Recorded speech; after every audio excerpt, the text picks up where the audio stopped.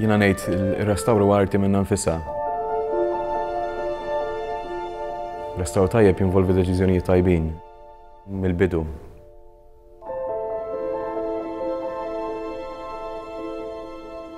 Għandek dak il-ħafna ħin li tosserva il-kwadru Huwa ta' sodisfazzjon kbir ħafna li tkun in kontatt mal-arti sabiħa.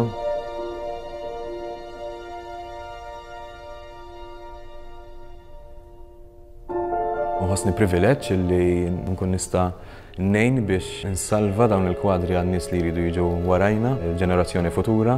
Huwa ta' unur li qed ikollok parti din il-kultura.